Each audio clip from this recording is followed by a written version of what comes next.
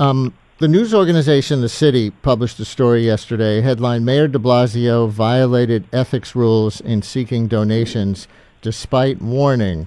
Probe finds the and it says the report uh, reveals that the New York City Department of Investigation substantiated the allegation that you sought checks for the now defunct Campaign for One New York fund from individuals, quote, who had or whose organization had a matter pending or about to be pending before any executive branch of the city. Why did you do that? Uh, Brian, this is a matter that, first of all, the, the report you're talking about is about something that happened years ago and was addressed years ago, and the case was closed. And uh, I've said uh, many, many times, I'll say again, uh, we followed the guidance, the legal guidance. Everything we did was legal and appropriate. And all decisions we make we make on the merits and that's just the way it is. But these issues you know you're referring to things that happened i think in 2014 and 2015 were investigated to a fairly well and every uh, every matter was covered and addressed and there's just nothing more to say on it.